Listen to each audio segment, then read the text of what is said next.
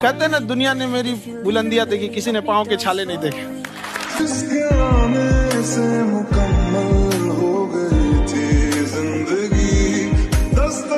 खुशियों ने दी थी मिट गई थी हर कम